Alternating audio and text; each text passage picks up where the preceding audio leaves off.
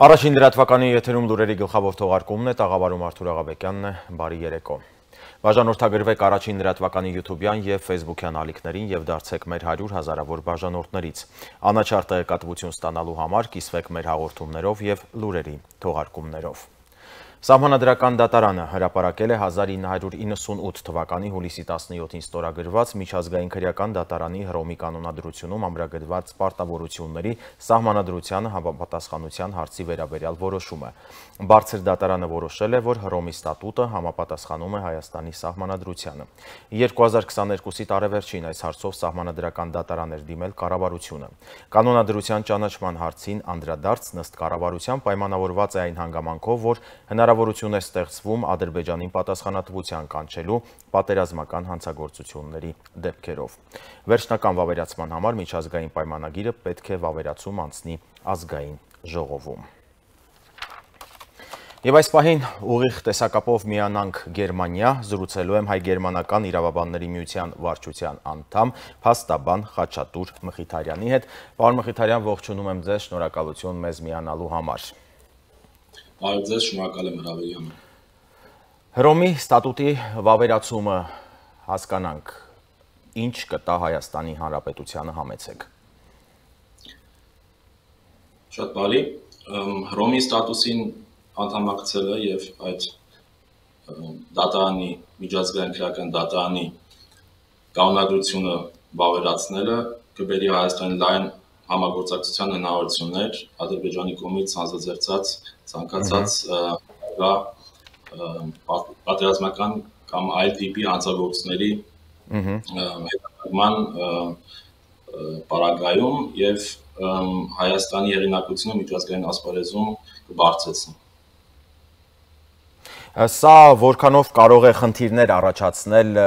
ռուսական կողմի համար, հաշվի առնելով նաև միջազգային դատարանի վճիրը, օրդերը այս դեպքում Ռուսաստանի նախագահ Վլադիմիր Պուտինին ձերբակալելու մասով։ Ռուսաստանի համար որպես ոչ անդամ անդամ պետության համար կարող են խնդիրներ առաջանալ այն դեպքում, երբ որ իր դաշնակիցներից որևէ մեկը անդամակցի այս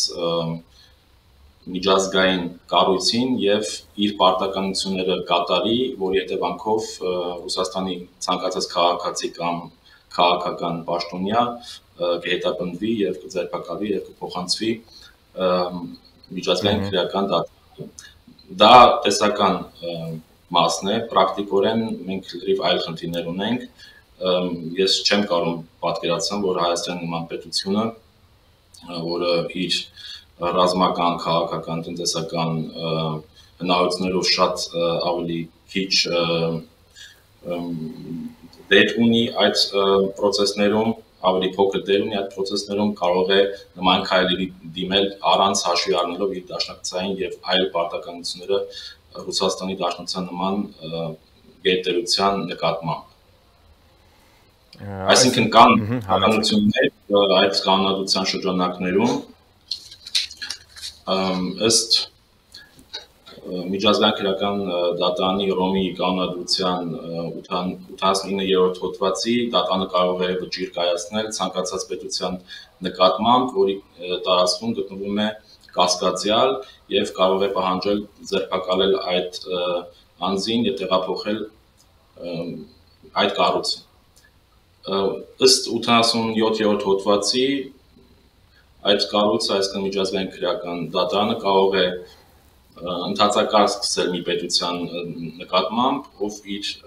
պարտականությունները չի կատարում, այնպես ոնց որ նշած է կանոնադրության մեջ։ Այսինքն կան նաև պարտականություններ, հետևանքներ,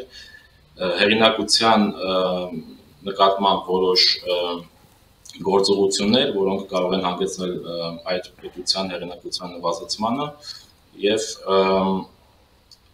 այդ շրջանակներում ցանկացած պետություն, որը անդամակցում է այս դատարանի կանոնադրության պատականությունների շրջանակներին, կարող է խնդիրներ ունենալ։ Այսինքն ցանկացած պետություն, որը անդամակցում է, ունի պարտականություններ եւ դա ձևական բնույթ չի կրում։ Մյուս կողմից է այդ պետությունը կարող է բախվել քաղաքական շահերի հետ, որոնք նաև սպառնալիք են հանդիսանում իր պետականության եւ պետության քաղաքական շահերի նկատմամբ։ Մենք ունենք ստեղ բախում պարտականությունների եւ քաղաքական շահի եւ նպատակահարմարության միջև։ Եվ այդ բախման արդյունքում պետք է այնպիսի լուծումներ գտնվի, որի հետևանքով պետությունը որևէ ձևով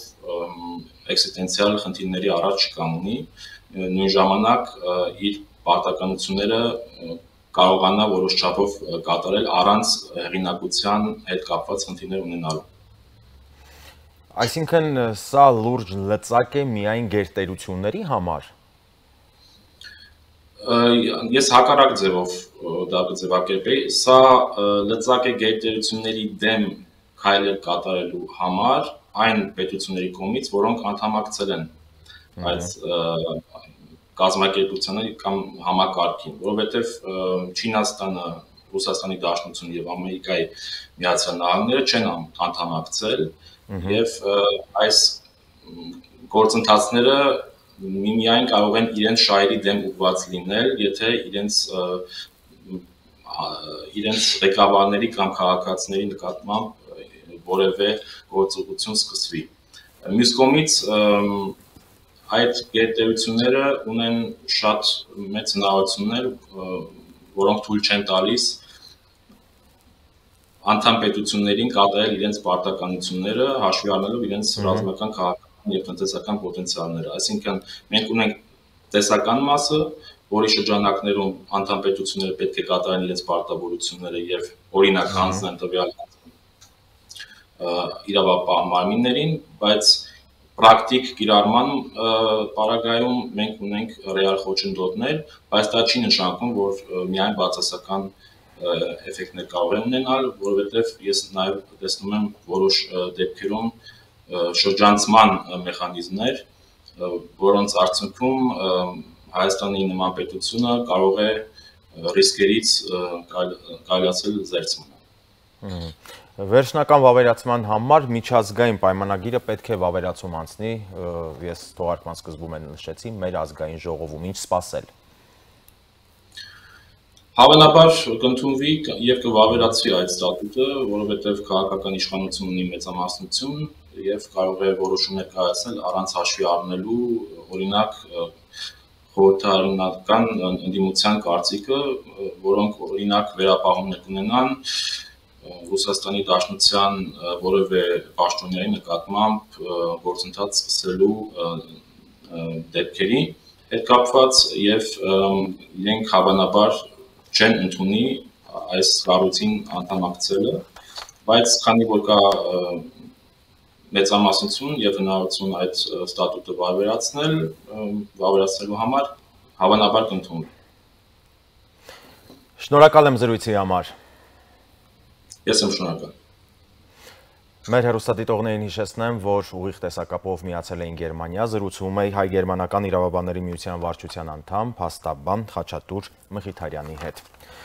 Շարունակենք թողարկումը։ Ադրբեջանը մի կողմից կեղծ լուրեր է տարածում, մյուս կողմից կրակում քաղաքացիական անձանց ուղությամբ։ Արցախի ոստիկանությունը հերքել է Ադրբեջանի պաշտպանության նախարարության տեղեկությունը, իբր հայկական կողմը Ստեփանակերտ Ղայբալիշեն Լիսագոր ճանապարհն օգտագործում է ռազմամթերք տեղափոխելու նպատակով։ Այս թեզն առաջ տանելով ադրբեջանական կողմը մոլորեցնում է միջազգային հանրությանը։ Հող նախապատրաստում իր հերթական սադրանքն Արցախի խաղաղ բնակչության նկատմամբ իրականացնելու համար նշել են ոստիկանությունից։ Երեկ եւ այսօր առավոտյան ադրբեջանական մարտական դիրքերից տարբեր տեսակի ու տրամաչափի զինատեսակներով թիրախավորել եւ կրակ են բացել Մարտունու շրջանի Մաչկալաշեն համայնքի խաղողի այգիներում հետման աշխատանքներ իրականացնող մի խումբ քաղաքացիների ուղությամբ։ Բարեբախտաբար դուժացներ չկան։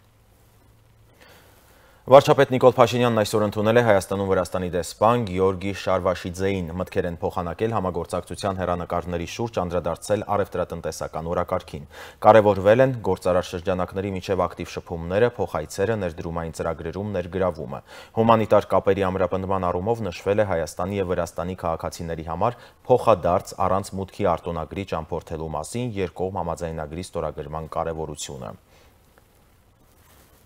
Նախագահ Վահագն Խաչատուրյանը հարցազրույց է տվել իտալական Լա Ռեպուբլիկա օրաթերթին անդրադառնալով Ադրբեջանի ագրեսիվ քաղաքականությանն ու Հայաստանի հանդեպ հավակնություններին։ Ադրբեջանը ցանկանում է էթնիկ զտումներ իրականացնել Լեռնային Ղարաբաղում։ Արցախի ժողովրդին պետք է պաշտպանեն ռուս խաղաղապահները, սակայն Բաքուն օգտվում է Ուկրաինայի հակամարտությունից եւ Ռուսաստանի դժվարություններից։ Պատերազմը կարող է բռնկվել ցանկացած պահի եւ հռետորաբանությունը, որն օգտագործում է Ադրբեջանը, շատ մտահոգիչ է ասել է նախագահը։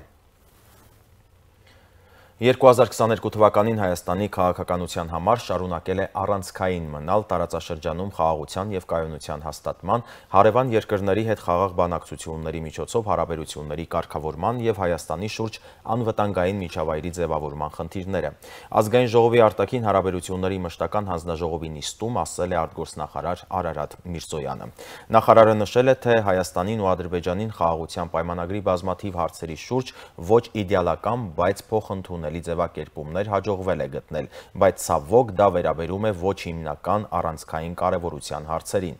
Բոլոր առաջին կարևորության հարցերը դեռևս քննարկման փուլում են ու դրանց հիմնական մասում կողմերի դիրքորոշումները դեռևս բավական հեռու են իրարից նշել է Միրզոյանը։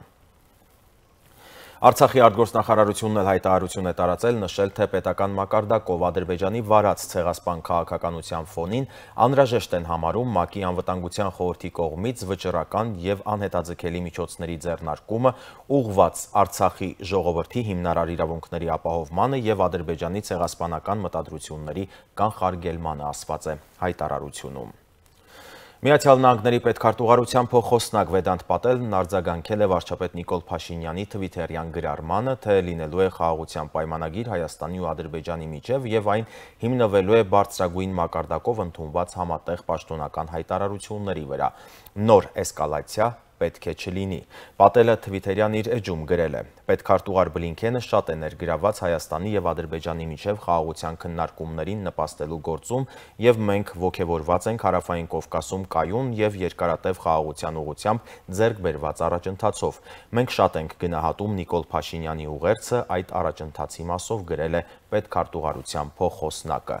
Պետքարտուղարությունը ջանքեր է գործադում Լեռնային Ղարաբաղի հակամարտության գոտում ականաձերծման խնդիրների լուծման համար։ Այս մասին Ադրբեջանական Թուրան գործակալությանն ասել է պետքարտուղարության քաղաքական ռազմական հարցերի բյուրոյի քարտուղար Ջեսիկա Լյուիսը։ Մենք խորապես մտահոգված ենք ականների եւ չպայթած զինամթերքի առնչությամբ, որոնք շարունակում են սպանել եւ խեղել խաղաղ բնակիչներին, արգելափակել տնտեսական զարգացումը եւ կանխել տեղահանվածների անվտանգ վերադարձը, ասել է նա։ Նա վերահաստատել է դիրքորոշումը, որ Միացյալ Նահանգները հավատարիմ է խաղաղ ժողովրդավարական եւ բարգավաճ հարավային Կովկասի զարգացմանը եւ ընդունում են, որ հակամարտությունը ռազմական լուծում չի կարող ունենալ եւ որ վեճերը լուծելու համար ուժի կիրառումն անընդունելի է։ Միացյալ Նահանգների կոնգրեսի ներկայացուցիչների պալատի 69 անդամներ երկու կուսակցություններից հերթական անգամ հանդես են եկել Ադրբեջանին ռազմական օգնությունը դադարեցնելու եւ Արցախին ու Հայաստանին 150 միլիոն դոլարի օգնություն ուղարկելու կոչով։ Նախաձեռնությունը ղեկավարում է կոնգրեսի հայկական հանձնախմբի հիմնադիր համանախագահ Ֆրենկ Փալոնը։ Եվրամիությունը հավատարիմ է Հայաստանի հետ գործընկերությանը եւ խաղաղ ու բարգավաճ Հարավային Կովկասի կառուցմանը։ Հարավային Կովկասի հարցերով Եվրամիության հատուկ ներկայացուցիչ Տոյվո Կլարը շնորհավորել է Եվրամիությունում Հայաստանի պատվիրակության ղեկավար Աննա Աղաջանյանին Եվրամիության հետ պայմանագրի երկրորդ տարեդարձը հյուրընկալելու համար։ Պաշտպանության նախարարն այցելել է մարտական հերթապահություն իրականացնող զորամասի ստորաբաժանումներից մեկի մշտական տեղակայման վայր։ Սուրեն Պապիկյանը վստահեցրել է, որ գերատեսչությունը ջանք չի խնայելու զինվորական ծառայության, մարտական հերթապահության կրման, զինծառայողների սոցիալական պայմանները բարելավելու համար։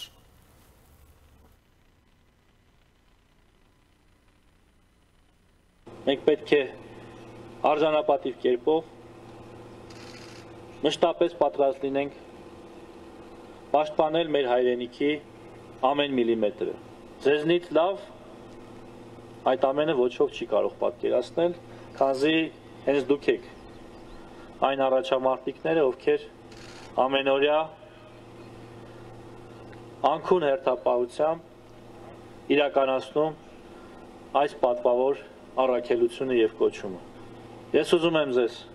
հաջողություն մաղթել անփորձանք հերթապահություն մաղթել եւ ասել, որ մենք ձեր թիկունքում ենք, ձեր թիկունքը ամուր է եւ վստահ եմ, որ դուք էլ ձեր հերթին ամուր եք պահելու մեր հայրենիքի ձեզ վստահված սահմանի հատվածը։ Շնորհակալ եմ։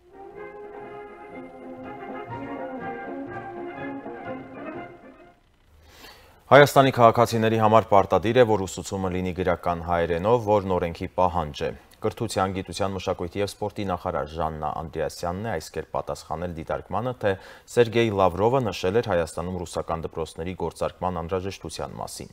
Նրա խոսքով ռուսական կողմի հետ քննարկումները վարում են օրենսդրության շրջանակներում։ Մեր երկրում պետական լեզուն մեկն է եւ դա հայերենն է, ինչ վերաբերում է ռուսական կողմի հետ համատեղ ծրագրին, որը պետք է լինի հանրակրթական մակարդակում որոշակի հաստատությունների ձևաչափով դեկտեմբերին կայացավ հայ-ռուսական միջկառավարական հանձնաժողովի նիստը նիստը, որտեղ հստակ արձանագրվեց, որ մենք պետք է քննարկենք դրա կոնցեպտը, նշել է նախարարը։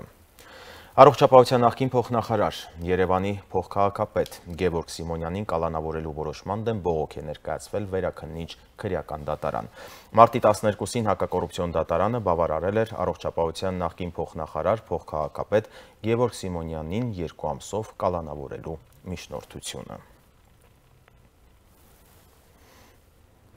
Եվ մի մորացեք բաժանորդագրվել առաջին լրատվականի YouTube-յան եւ Facebook-յան ալիքներին դարձեք մեր 100 հազարավոր բաժանորդներից։ Անաչար տեղեկատվություն ստանալու համար կիսվեք մեր հաղորդումներով եւ լուրերի թողարկումներով։ Հաջորդիվ քրեական կրոնիկոնն է, ես ձեզ հրաժեշտ եմ տալիս հաջողություն։